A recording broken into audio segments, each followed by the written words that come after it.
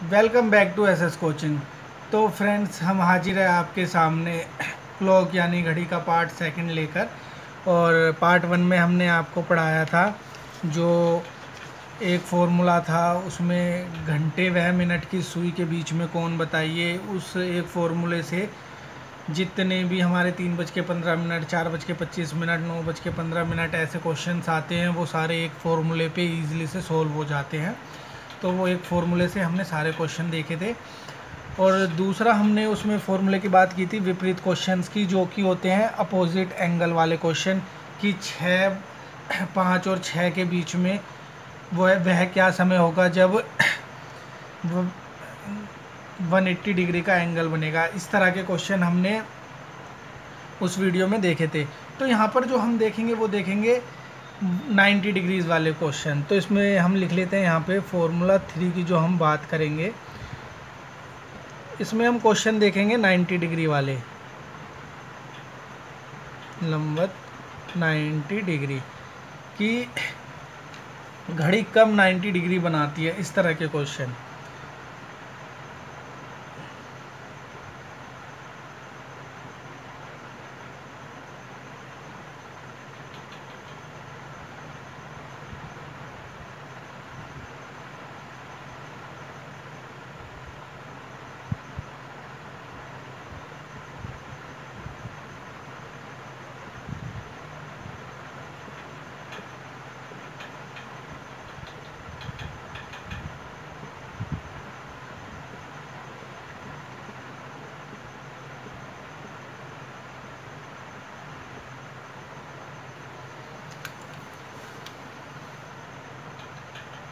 तो फ्रेंड्स ये आप देखेंगे, मैंने अभी लिखा है यहाँ पे समय छः से कम है तो प्लस तीन लेना है, समय छः से ज़्यादा है तो माइनस तीन लेना है। ये कॉन्सेप्ट समझने के लिए आपको हमारा पार्ट वन देखना बहुत ज़रूरी है।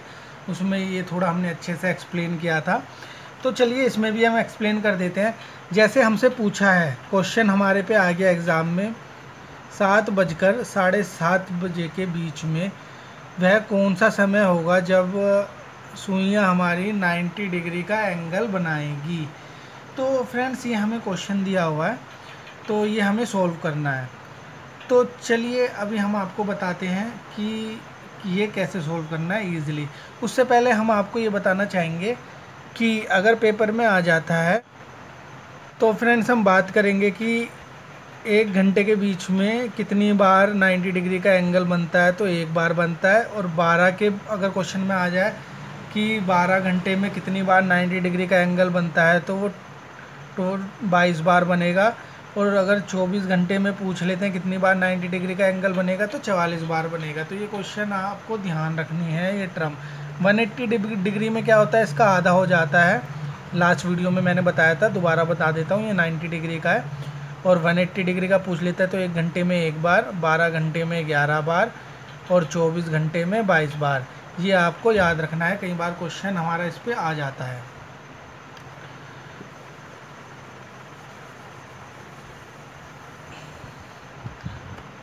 तो चलिए अभी बात कर लेते हैं जो हमें यहाँ पर ये दिया है। तो फॉर्मूला जो इसका हम बनाएँगे बनाएँगे, वो बनाएँगे साठ बटे ग्यारह समय प्लस माइनस थ्री तो फ्रेंड्स ये बिल्कुल सेम पिछली वीडियो में जो फॉर्मूला टू कराए थे, उसी का ही कॉन्सेप्ट है। वो वीडियो आप देख सकते हैं, आपको अच्छे से समझ में आ जाएगी। तो अब हम यहाँ पे लेंगे साठ बटे ग्यारह। समय में यहाँ पे हमारा सात आ जाएगा। और सात देखिए यहाँ पे, यानी ये घड़ी है, ये बारह और ये छः अगर छः से कम का समय कोई क्वेश्चन में पूछा होता, जैसे तीन बज के साढ़े तीन मिनट के बीच में, नाइन्टी डिग्री कितनी बार बनेगी पूछा होता तो हम यहाँ पर लेते प्लस थ्री अब ये पूछा छः से ज़्यादा, क्योंकि सात से साढ़े सात के बीच में इन्होंने पूछा है तो हम यहाँ पे लेंगे माइनस थ्री तो सिक्सटी बटे ग्यारह इंटू फोर तो आप यहाँ पे देख लेंगे, ये जो आपकी वैल्यू आ जाएगी, यहाँ पर हो जाएगा ये आपका छः चौक चौबीस बटे ग्यारह। और अब अगर हम इसे सॉल्व करेंगे तो ये हमारा आ जाएगा इक्कीस नौ बटे ग्यारह। ये हमारा आ जाएगा। पर ये हमारा आंसर नहीं होगा फ्रेंड जैसा कि हमने पहले वाले क्वेश्चन में भी बताया था कि जब हमारे पे ये वैल्यू आ जाती है और जब हमें क्वेश्चन ये पूछा है तो इसकी जो आगे वाली टर्म होती है, उसमें ये वैल्यू ऐड कर देते हैं। तो ये आंसर हमारा आ जाएगा।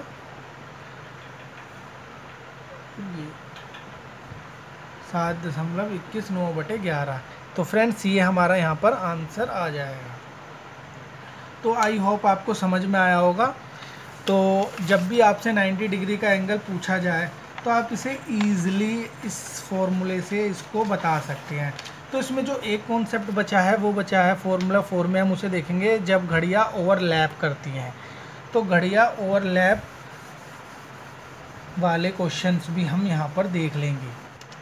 तो यहाँ पर इस क्वेश्चन को हम देख लेंगे फॉर्मूला फोर बना के, क्योंकि इसमें हम फॉर्मूला फोर बताने वाले हैं।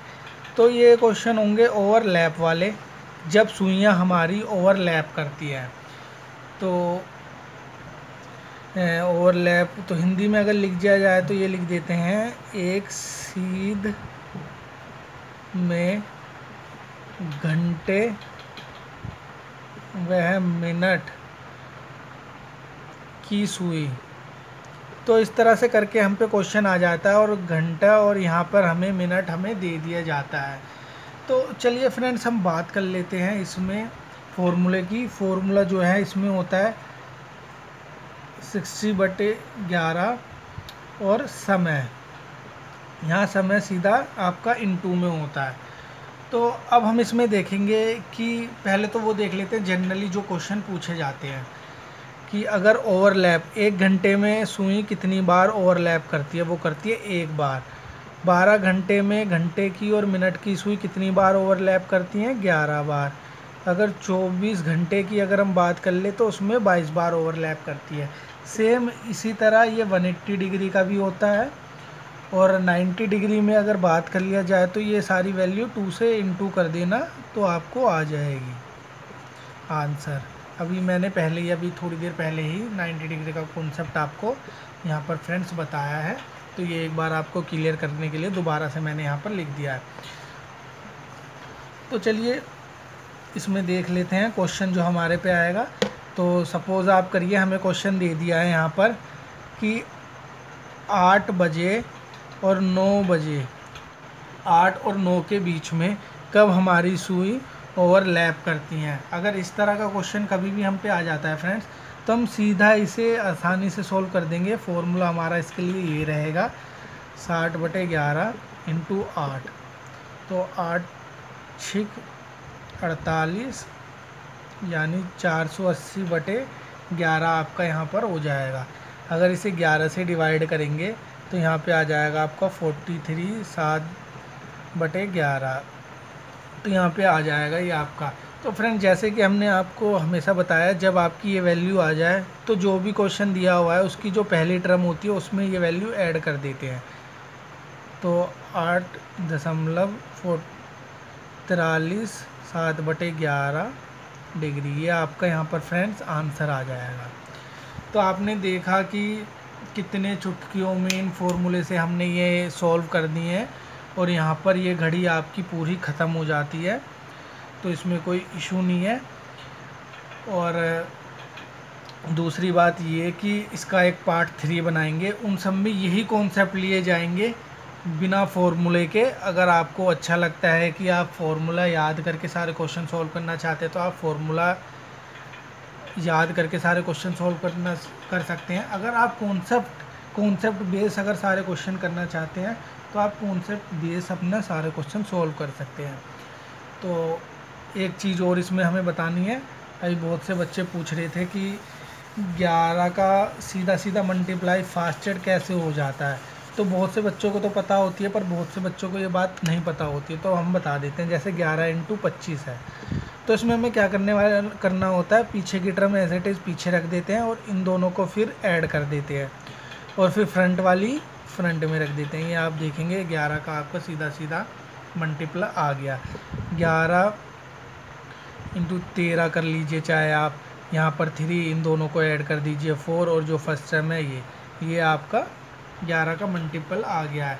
अगर कोई बड़ी टर्म आ जाती है तो उसका जैसे ग्यारह इंटू यहाँ पर ले लेते हैं सेवेंटी नाइन तो अब आप देखेंगे यहाँ पर नौ आ जाएगा।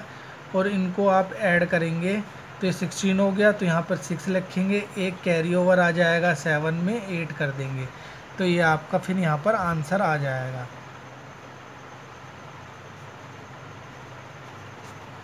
ठीक है फ्रेंड्स अगर बड़ी टर्म आ जाए तो इसे आप इजीली ऐसे सॉल्व कर लेंगे, कोई बिग इशू नहीं है।